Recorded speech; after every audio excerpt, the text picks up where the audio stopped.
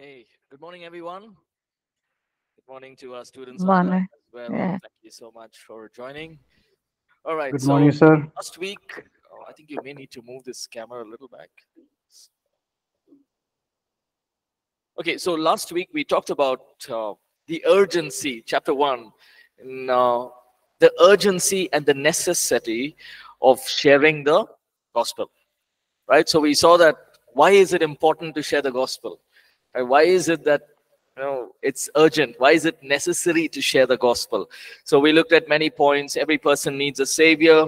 There's only one savior, that is Jesus Christ.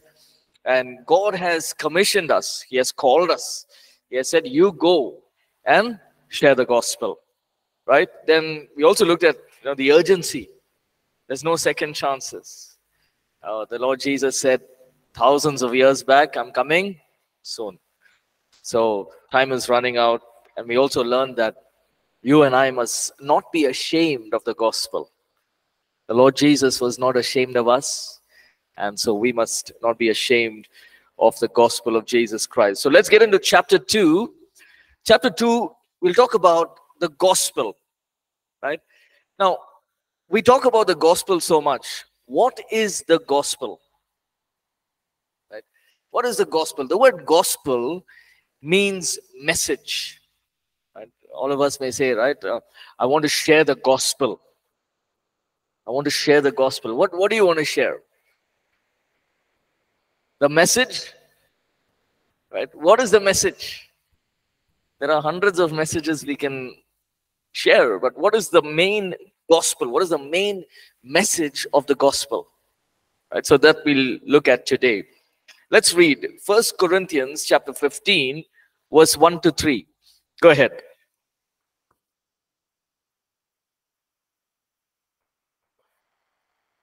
First Corinthians chapter 15, verse 1 to 3. Moreover, brethren, I declare to you the gospel which I preached to you, which also you received, and in which which uh, you stand, by which you by which also you are saved, if you hold fast that word which I preached to you, unless you believed in vain. For I delivered to you first of all that which I also received, that Christ died for our sins, according to the scriptures. Right. So, in this portion, the Apostle Paul is writing to the believers and he's saying, This is the gospel. Now, brothers, I want to remind you of the gospel I preached, which you received, on which you have taken your stand. By this gospel, you are saved. Right? The message that we preach, you and I, as believers, the Apostle Paul is saying, when I preach the gospel, through this message, you were saved. Okay? Now, let me give you a background. It's very important to understand the background. The church in Corinth was a place that was filled with idol worship. There was a lot of idol worship. There was, uh, you know, thousands and thousands of male and female prostitutes. One. Two, there was idol worship right people were living in sexual immorality people were living in high level of sin right there was they didn't know okay this is sin this is good this is bad they didn't know and paul has gone to that place in corinth and he is preaching the gospel and if you read in the book of acts it shows that you know when he shared the gospel many people became believers and they were able to you know, they the church was planted in Corinth. Now, what is this message that the Apostle Paul preached? Did he preach about the testimony? Did he say, okay, you know, one day I was a Pharisee and I was going to kill all the Christians, right? And then after that, one light came and I saw Jesus. Jesus said, you, he didn't give all that stories. Testimony is good, right? The book of Galatians, he says, he writes about his testimony. But what did he share? The Bible says that the message that he shared was the message of the cross. The cross of Jesus Christ. That's what he shared. Right? And through this message, he was able to speak about the life of Jesus, the death of Jesus, and the resurrection of Jesus. That is the gospel that you and I must share. What is it? The life, the death, and the resurrection. How did Jesus live his life? What did he do? He overcame sin. He did mighty miracles. Is there anybody else in this world who has done those miracles? No. He took on death on a cross for who? For you and me. He died on the cross. He took up our sin. The book of Isaiah, Isaiah 53 says, He took up our sin on the cross. So, death. And then He resurrected from the dead. Is there anybody who has resurrected from the dead? Nobody. Right? That is the gospel. Three points. What's it? First one? Life, What's the first one? life, Life, death, death. resurrection. So, when you and I are sharing the gospel, remember these three points life, death, resurrection. Let's read 1 Corinthians chapter 1, verse 17 to 24. This is a very, very powerful verse. 1 Corinthians chapter 1, 17 to 24. For Christ sent me not to baptize, but to preach the Go gospel. Anybody read. Hello, Pastor, can you hear me? And Hello? if Christ be not raised, your faith is vain. Mm. Yet are ye First Corinthians, right? 17 to 24. Okay, go ahead, go ahead. Yeah. And if Christ be not raised, your faith is vain.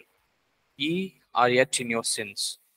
Then they also which are fallen asleep in Christ are perished. No, no. So is this First Corinthians?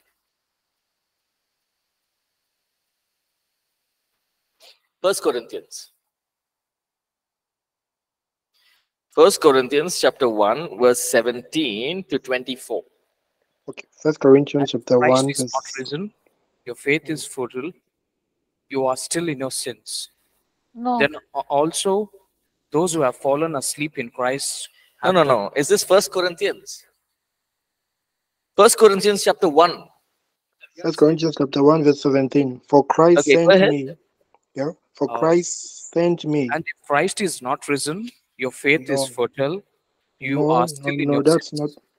Then also those who have fallen asleep in Christ have perished. If in this life only we have hope in Christ, we are all men of the most pitiable. But now Christ is risen from the dead and has become No, no, I don't think this is First Corinthians. Double check it.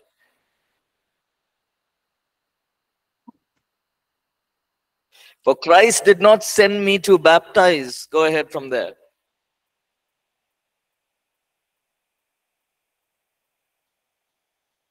For Christ sent me not to baptize, but to preach the gospel, Mm. not with wisdom of words, lest the cross of Christ should be made of none effect. For the preaching of the cross is to them that perish Okay, just stop there. Let's stop there. Okay, I'm going to read 17 and 18 again. For Christ did not send me to baptize, but to preach the gospel, not with words of human wisdom. Right? Not with words of human wisdom, lest the cross of Christ be emptied of its power. So, what is Paul saying? Christ did not send me to baptize. Is baptism good? Is it good to baptize people? Yes, Yes or no? yes. It's good, right? That's one of the commandments that God has given us. But here Paul is saying, God didn't send me to baptize people. That is part of it. But God sent me to preach the gospel. Right? Here. Not with words of wisdom. That means what? Not with our own words, not our own intellect. Now, wisdom is important again, right? We need the wisdom. We need wisdom of God to share the gospel with people. We need the wisdom on how to speak, what to speak, when to speak. Yes or no? Right? If you're sharing the gospel, we need the wisdom. We can't be foolish in the way we share the gospel. We need to think and speak. But what is Paul saying here? I will not rely on my own wisdom, meaning on my own abilities or my own strength. Because if I rely on that, the cross of Jesus Christ will be emptied. Right? What does it teach us? How many of you have given testimony in church? Right? Testimony time. Kawai ke samay. Is that correct? Yes? So you come and you start saying, okay, this is what Jesus did. This is how I was in my life, and this is what I did, and then I prayed, and then I. What happens? Course, it's a testimony, but sometimes you're only talking about ourselves. Right? Okay, because I did this, because I somehow I went to church, because I went and I read this verse, because I did this, because I worshiped God, somehow the Holy Spirit came. Because I obeyed the Holy Spirit, I followed Jesus. And because I did this, sometimes we make the testimony about us. What is, about, what is Paul saying? It's not about me. Lest the cross of Jesus Christ be emptied. The message of the gospel is the message of the cross. Testimony, it's good. But when you and I share the gospel with people, it is the cross. Three points. What is those three points? Life, resurrection. That is the cross. Now let's go next next verse, verse 18. For the message of the cross is foolishness to those who are perishing. Let me stop there. Now, how many of you you have shared the gospel with people, but they they laughed at you? So many, so many times. Why? Because the message of the cross is foolishness. Hey, what you're talking?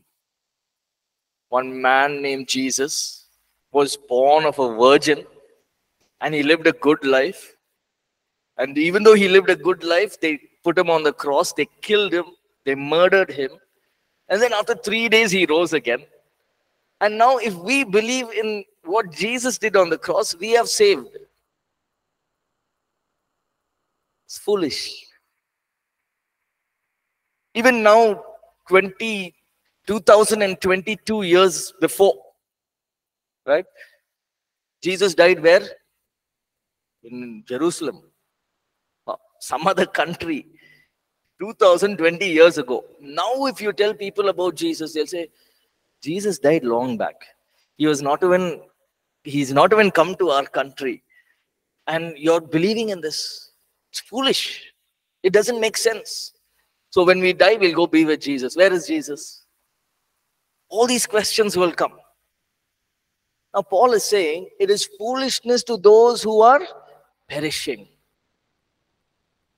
So there'll be times you'll share the gospel, they'll they'll ridicule, they'll mock you, they will make fun of you, they'll make fun of Jesus, they'll make fun of the cross.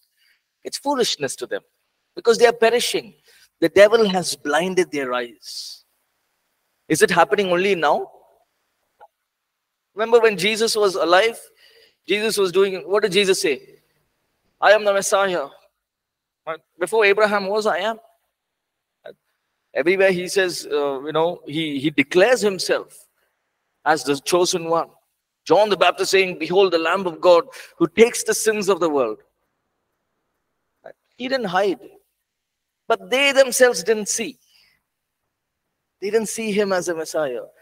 So even now, the devil can blind people's eyes because and make them feel that this is foolish. It's foolish. Doesn't make sense.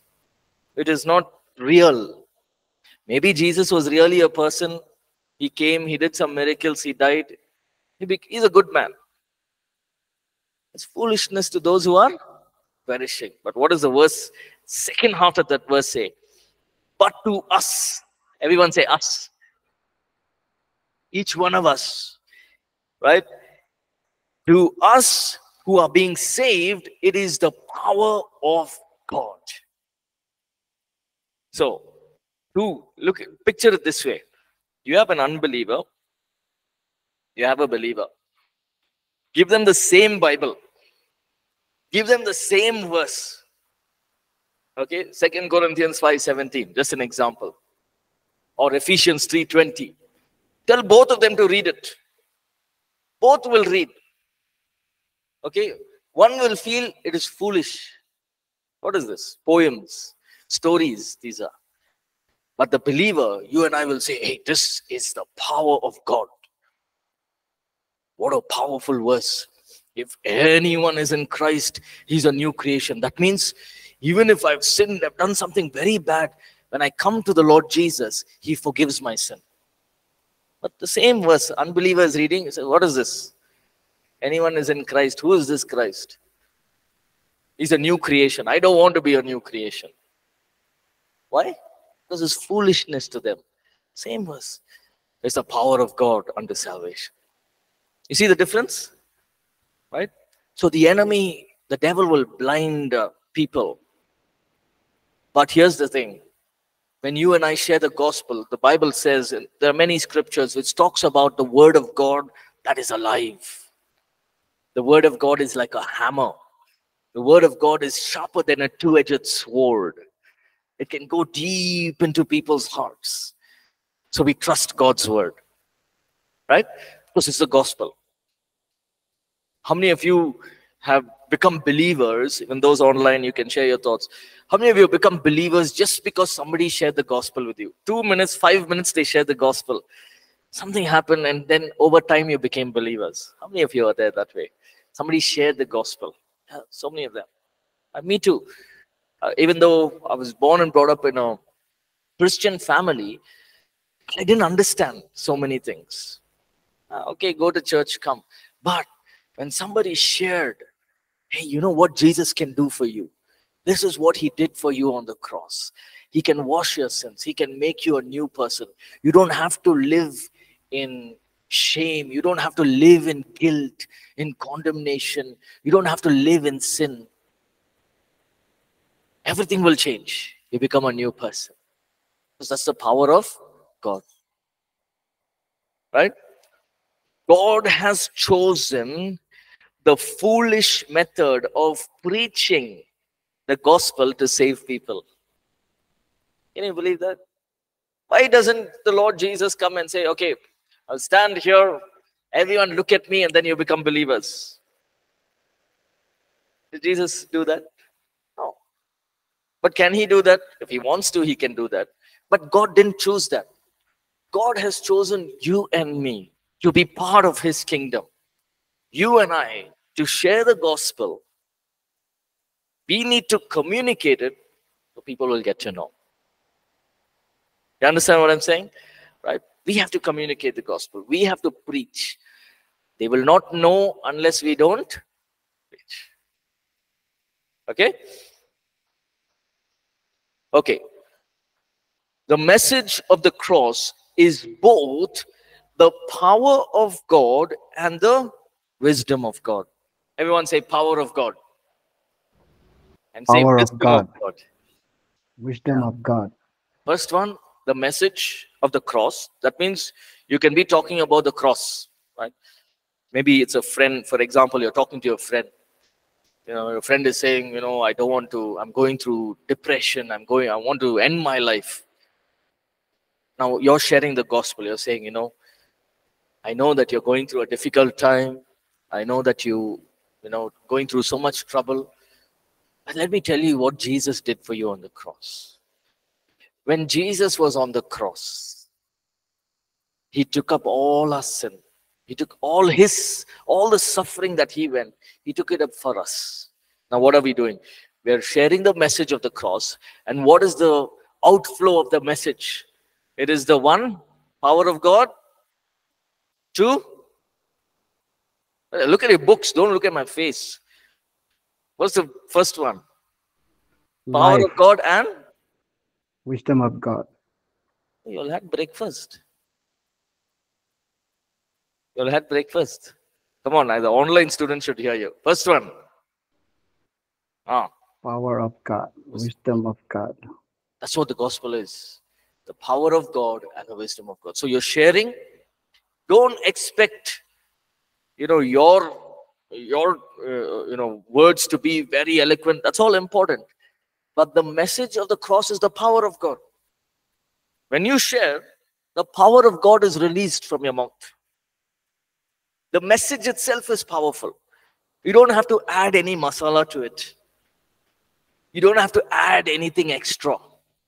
Do we? Do we have to add anything to what jesus did? No. All we need to do is share the message it's the power of god and two it's the wisdom of god. How will god do how will god minister to people? He's got his he's got his way. That is god's wisdom. God has decided it that way right? God will speak to people the holy spirit will speak to people and their lives will be touched because of the gospel. Right? So i want to encourage each one of us. You know initially i used to think okay i will share my testimony then i will share somebody else's testimony and then i will share about you know all the other things that god can do all the miracles god can do right? He parted the seas into two then god had um, made dry bones become as flesh then he can do all these wonderful miracles. I'll talk about all of that. Then i'll talk about how jesus did some great miracles and then slowly i'll tell them okay if you believe you know, god will god loves you god cares for you. I used to think we have to do it that way. But i realized that the moment i'm sharing the gospel it is the power of god.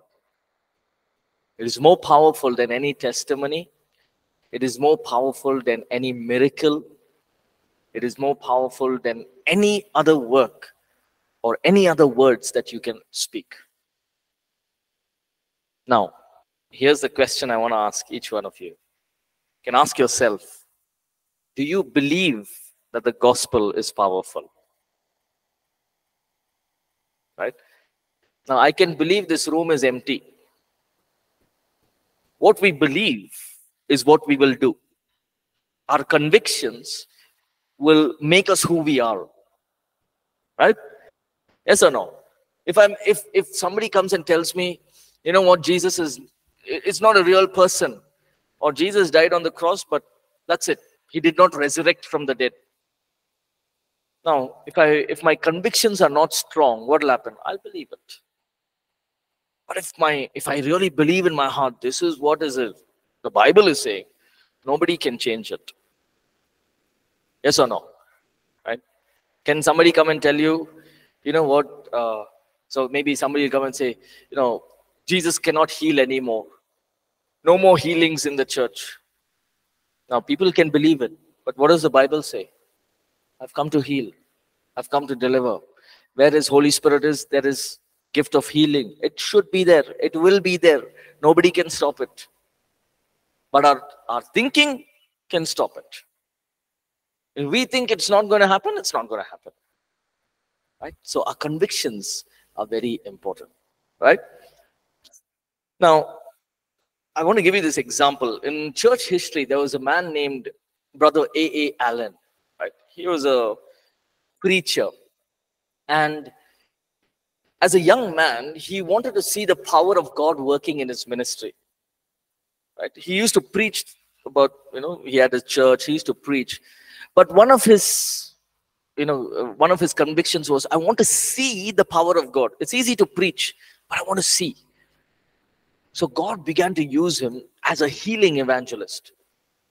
God gave him a, a thought you know.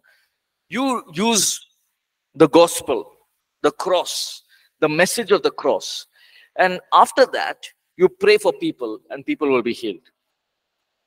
So what he began to do was every Sunday he would preach, and towards the end he will add the message of the cross. And then he will say, "Those who want healing, come in front." And people would come, people with wheelchairs, people with all kinds of diseases, sicknesses. And you know what he used to do? He used to just stand and say, "Be healed in Jesus' name," and they'll be healed.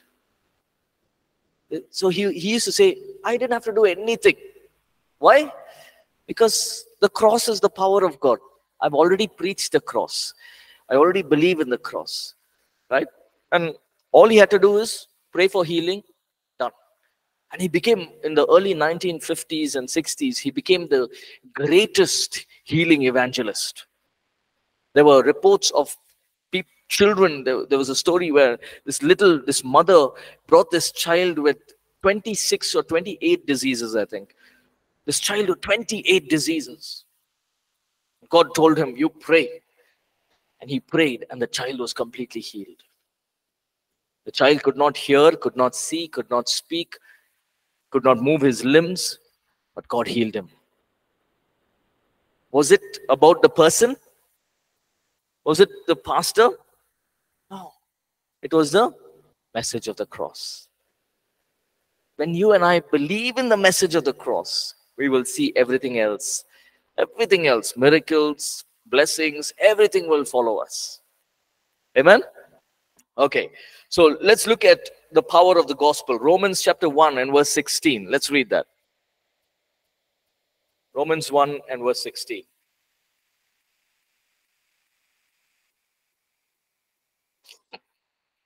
It's in your books as well. I think you can. Romans 1 16.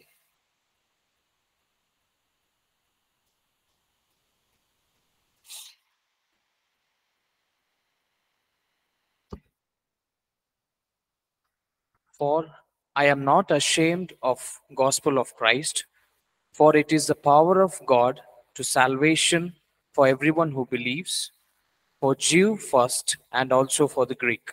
Yeah. For I am not ashamed of the gospel. Now, the Apostle Paul is saying, I'm not ashamed of the gospel, for it is the power of God. Now, the word, it goes on to say, is the power of God unto salvation. What is salvation? Let's look at that word, right? Now, the Greek word for the word salvation means sozo, right? And it's not one one meaning. You know, you and I think it's just one meaning, right? We say, okay, I prayed, I said, Jesus, come into my heart. Jesus came into my heart. Now I have received salvation. That means I will not go to hell, I'll go to heaven. No, it's more than that.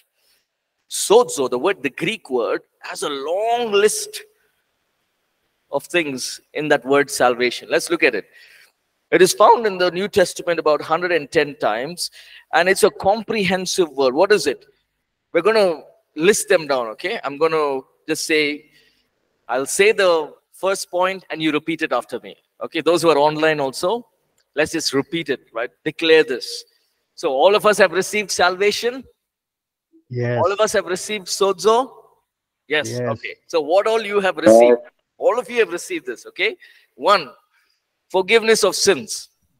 forgiveness of sin, Forgiveness of Together. sin. One. First one. What's the first one? Forgiveness of sin. Two, healing from sickness. healing from sickness, Healing from Three, sickness. deliverance from every work of the enemy. Deliverance Deliverance from every work of every the work of the enemy. enemy. Rescue from danger. rescue, from Rescue danger, from danger. Five, free from total harm. free from from total total harm. Just it goes on, right? It means to be saved.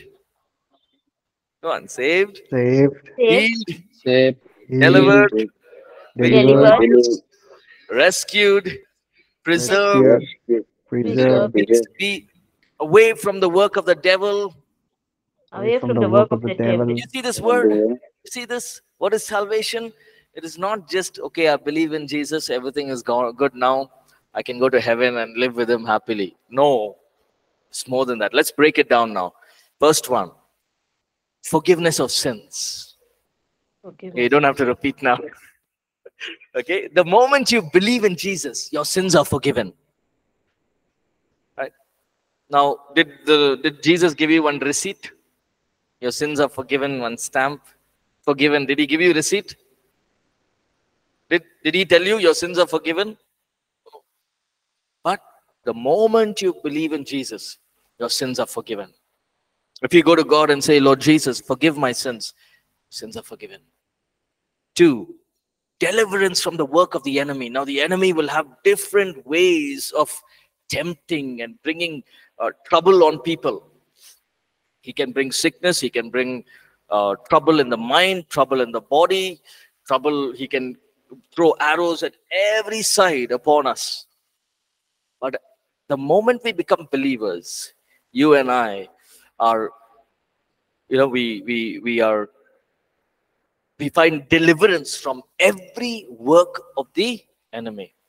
So, what can you and I do? Say, for example, you're in trouble and you're going through a difficult season.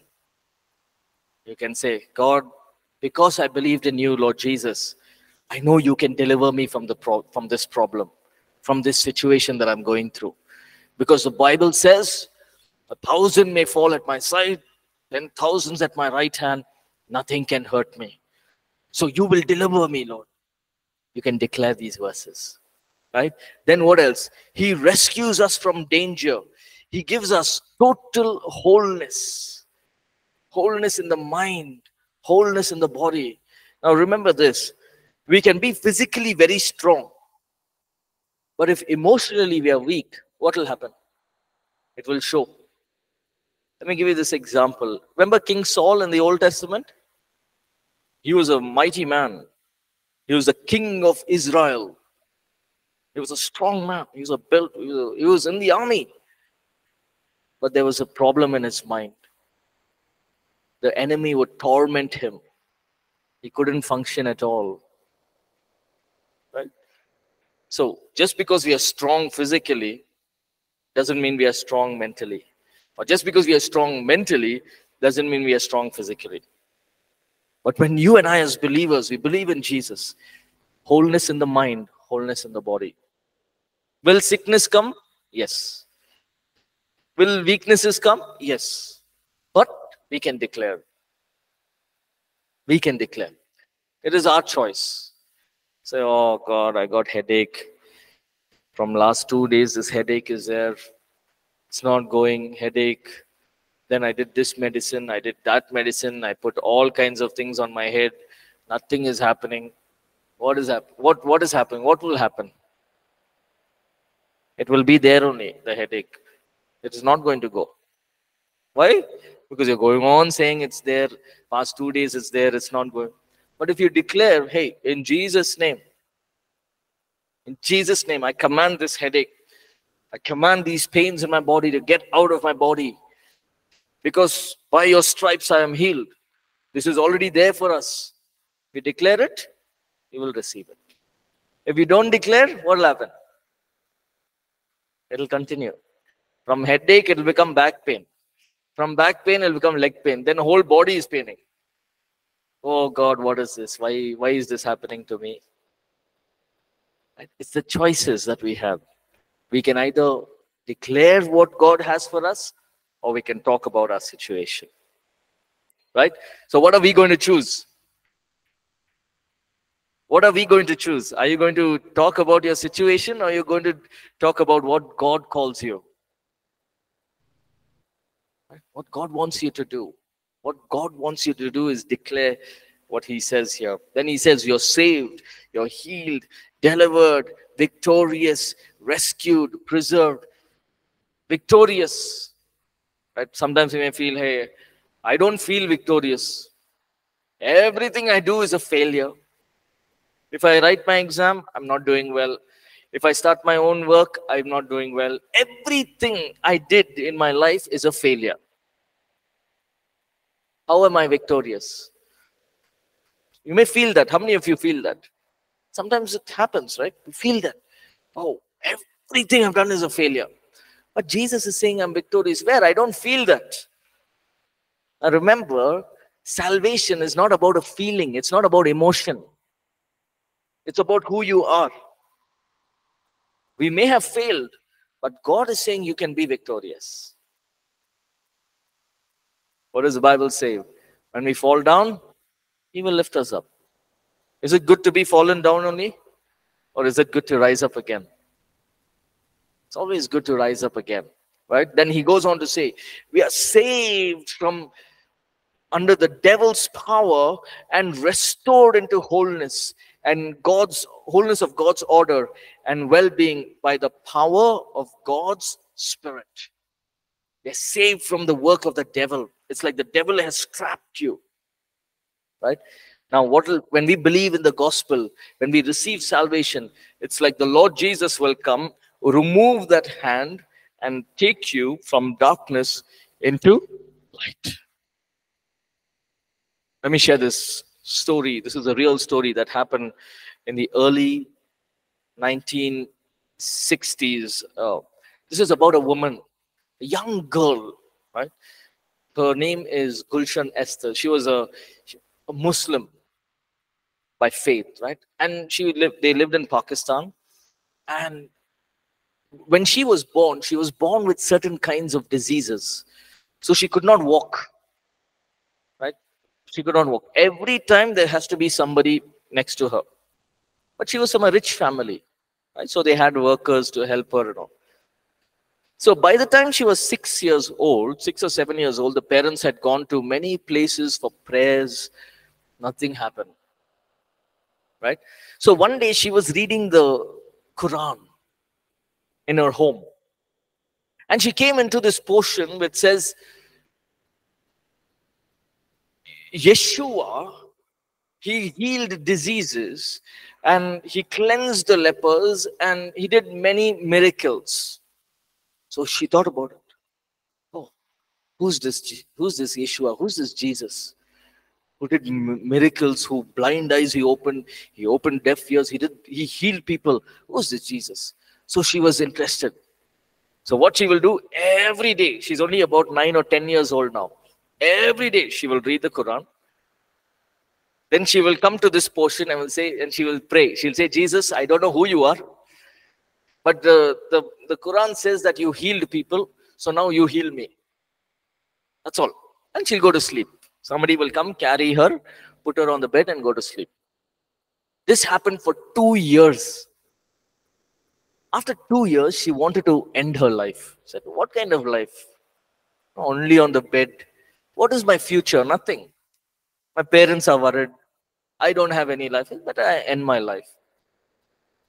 Before ending her life, she said, Okay, I will read at least the scriptures for the last time and I'll go end my life. So she did it. She read the Quran, then she came to this verse. This verse, Jesus, I don't know who you are, but whoever you are, come and heal me. And somebody came, the workers came, took her, put her on the bed to sleep. But she was waiting for those helpers to go so that she can end her life. That moment, she felt something in her room, right? And she felt a person is there. And the Lord Jesus tells her, Get up and walk. She says, I can't. No, you read about me, right? You were reading about me for two years. You read, you said, if you're if Jesus, you heal people, heal me. Now I've come to heal you. Get up and walk. So she tries. Next thing she knows, she's walking. She walked and fell at Jesus' feet. And uh, you know, the story goes on. She says, Jesus says, Now you will be a, a, a minister, you will share the gospel, you'll be a testimony about my healing power. Right? And then there is sound in the room. The workers, everyone are coming, parents are running. She's running inside. How is this girl who was born lame running? So she tells, No, I was praying. Jesus came and healed me. They said, Don't tell anybody this. Keep quiet. She said, No, it was only Jesus. I met, I seen him. And then she had to run away from her life for her life because they wanted to kill her. And you know, we know, right? It's not easy to become a Christian in these nations. But the point is that moment, in that single moment, she was taken from place of darkness. She received healing, she received deliverance, she received hope, she received salvation in just one moment. One moment. It would have been maybe 10 seconds, done. Her life changed. Sozo means salvation, sozo means healing, sozo means deliverance from demonic powers. Sometimes we look at the devil and we focus on what the devil is doing. No, devil is bringing trouble, devil is bringing challenge, and devil will do hundred things. That's his response. That's his work. Let him do. But you and I, as believers, we have authority over the devil. Do we have or no? Yes or no? The moment we believe in the cross, we have authority. The devil can say, I'll make this trouble come upon you. What you can say? Please don't do, please. please. I'll pray only one hour. Can we do that? You don't have to be afraid of the devil. The devil say, okay, I'll bring this problem. You say, bring. You stand firm. You say, hey, I'm God's child. You're already defeated. You're not standing on your strength, you're standing on the cross. So Jesus is there with you. What does the Bible say? He crushed the serpent's head. Uh, he's defeated the devil. Where he becomes victorious is where we allow him to win. Yes or no? When we allow the devil to, okay, you come, you cause, we open the doors, he'll come and sit. But if we close the doors, he will not come. It is our choice again. Right? Sozo means rescue and preservation from danger. Sozo is for everyone. Now, here's the important part salvation is received by grace through faith. Everyone say this salvation is received Salvation is received by grace by grace through grace faith. through Two words grace and faith. What is grace? Grace is not coming by our own effort. I'll give you this example. In school, the passing mark for exam is 40 out of 100. Now you get 39. What will you do? You get you got 39. It's failed. 40 is the pass mark. You're holding the answer paper. What you will do? You'll start searching everywhere. Where can I get this one mark more? But everywhere it's not there. No, 39, failed. I don't know if you've done it, but you'll go running behind the teacher. Sir, one mark. One mark you give, I'll pass. So they know, yeah, I cannot, I can't give you. I've already given you too much grace. Sir, one mark. If you give one mark, I'll pass. And the teacher will say, okay, let me see. There's nothing here I can give you one mark, but I'll give you just so that you pass. And then he'll write plus one and make it 40. but it's happened to us. Yeah. Sometimes it's 38 or two marks. Sir, ma'am, please, two marks, just two marks. Next time I'll do well. The teacher will give you that grace marks. Do you deserve that grace marks? No. Actually, you deserve minus marks. the teacher's given you grace marks. Okay, take two, two, two marks for you, just so that you don't fail. Now, Jesus died on the cross. When we come to Jesus, don't come saying one mark, two mark, and all. Jesus is saying, I'm giving you all of this. I'm willing to give you 100 on 100. There's grace. Grace is free. I've given it. You don't deserve it, but I've given it to you. So we come to the cross, we have the grace of God, but we must also have faith in Him. Grace is there, but we must have faith. What is faith? What is faith? Hebrews 11 1. Read. One of you can read. Hebrews 11 1.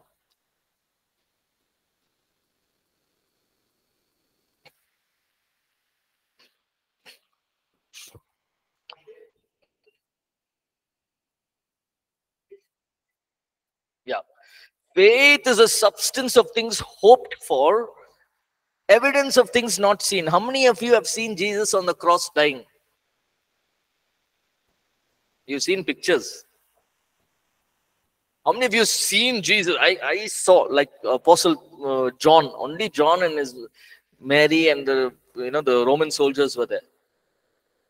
Faith is a substance of things hoped for, evidence of things not seen. Now, I've not seen Jesus. Face to face, I've not seen. But I'm willing to give my life to Jesus. Why? Faith. And I don't have to see to believe. So that's what faith is. Faith is the substance of things hoped for. When I die, how do I know I'll go to heaven? I have the hope. I have the assurance. I have the faith because the word of God says. You understand that? So you come to the you and I come to the cross by grace. Say, God, all the gifts, all the talents, all the things that you've done for me, all the things I'm doing for ministry, I will put that aside. I will come empty into your presence. That is called grace. And when we have faith that He is there to answer our prayers, that is called salvation. Salvation is received by grace through faith. Right? So, while presenting the gospel, uh, we may have to present you know, spontaneous, meaning immediately we may have to uh, present the gospel. There will be times when we have to uh, minister the full gospel, right? We have to be very accurate. Sometimes we have to just pinpoint, be very quick in sharing the gospel. But here are a few things that we must cover while presenting the gospel message. First one, the existence of God. There is a God. Now, people, if there are, if there are people, your friends may say, there is no God. We have to explain to them, hey, there is a God. Two, the problem of sin and its consequences. Now, any religion in this world, whether it's Hinduism, Buddhism, Jainism, whatever religion, they believe in sin. There's no religion that doesn't believe in sin. So every religion has sin. So you can talk about sin and the consequences. Then how is sin dealt with? You know, in other religions, they go to a certain place, they do certain things, and they believe that, okay, God will bring, you know, God will forgive them. But we can say, we can talk about Jesus, how he's our savior, he's our healer, he's our deliverer, right? Uh, invite them to believe in this gospel. Now, you're not forcing them, you're not holding them in the collar and saying, Do you believe? Now you're believing in Jesus. Now, now, saying, give them the opportunity. It is their faith, it is God's grace, it is their faith. You cannot force them, right? Ask them. So sometimes they may not know how to pray because they are new. They need to need help. So you can tell them, say, you can pray, Lord, forgive my sins. Lord Jesus, forgive me. Thank you that you will forgive my sins. You have washed me, by, and I believe in the cross, and I trust that you will you live inside my heart. Simple prayer, two minute prayer can change their lives, right?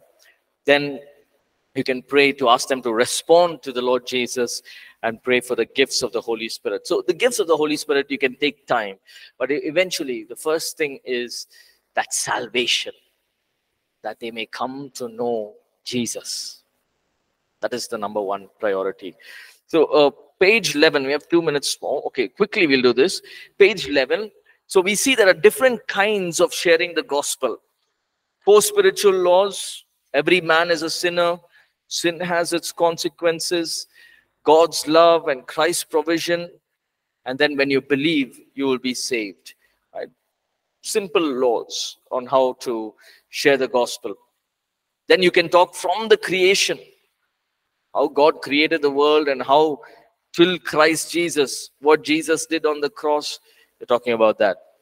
Then you have two minute testimony, your salvation experience. So, you know, before I believed in Jesus, I used to do all these things. I used to live in sin. But now, after believing in Jesus, I find freedom and I'm able to live a holy life. You're giving your testimony.